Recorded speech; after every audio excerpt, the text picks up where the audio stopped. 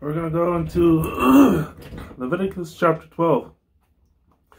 And the Lord spake unto Moses, saying, Speak unto the children of Israel, saying, If a woman have conceived seed and born a man child, then she shall be unclean seven days, according to the days of separation from for her infirmity shall she be unclean.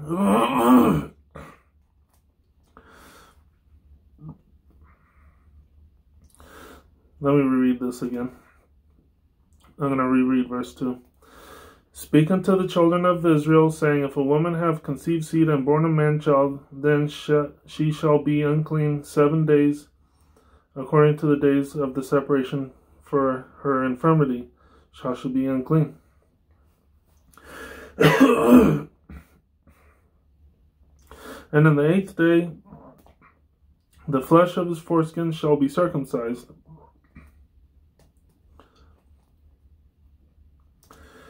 So, um, so seven days she uh, she she's unclean. Um, oh oh no, um, I haven't I haven't read far enough into the Bible to see if seven days uh, she. Uh, I'm not sure if she should be abstinent or not, but I haven't read far enough into the Bible yet. But it says on the eighth day the the the flesh of the male um, shall be uh, circumcised. But um, let's uh, keep reading. Um, verse four: And she shall then continue in the blood of her purifying three and thirty three and thirty days. She shall touch no hollow thing, nor come into the sanctuary until the days of her purifying be fulfilled. Let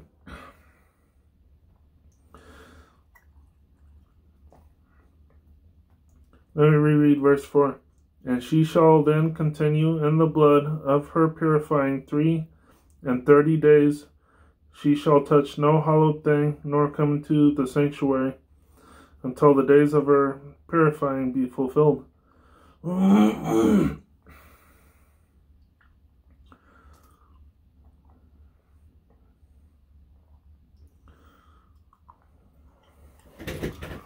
I need a calculator.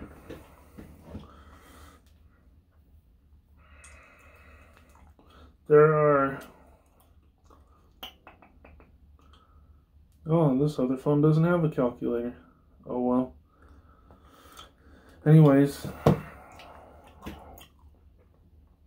a woman that's pregnant for nine months um, really isn't doing much of anything except for staying in the house anyways.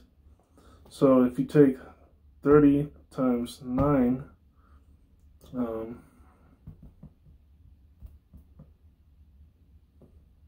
I guess that's kind of close. but anyways, I'm not sure what this verse is saying. I'll reread verse 4 see if I could get it. and she shall then continue in the blood of her purifying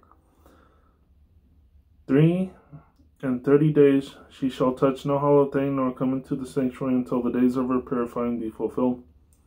Oh yeah, that's right. She has to um, she has to breastfeed the child and all that stuff um, until the until the child is uh, fine again, and um, the lady can um, go into the church or the tabernacle with uh, with with her um, with her child.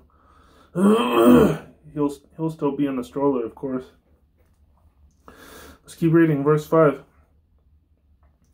But if she bear a maid child, then she shall be unclean two weeks, as in her separation, and she shall continue in the blood of her purifying threescore and six days.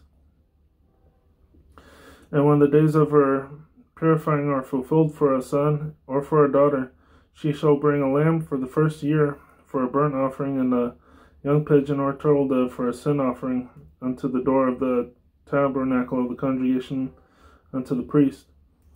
Uh, let's see. Verse 5 says, maid child. So, I don't know, is it like a, Is it like a wedlock child? I'm not sure. And what's an offering will she have to offer for? Huh. Interesting. Who shall offer it before the Lord and make an atonement? I mean, let's keep reading. Verse uh, 7. Who shall offer it before the Lord and make an atonement for her? And she shall be cleansed from the issue of her blood. This is the law for her that hath borne uh, male or female. And if she and, and if she be not able to bring a lamb, then she shall bring two turtles or two young pigeons, the one for the burnt offering and the other for a sin offering. And the priest shall make an atonement for her, and she shall be clean. The one that kind of got me right there was the word maid child. Maid child. So is it like a is it like um like a so it's maid child like a like a wedlock child? I'm not sure. But whatever the sin is, she had to she had to offer it, uh, offer offer it, you know, the offering. Anyways, I'm done with uh, chapter twelve. Thank you very much for chiming in, and have a good night.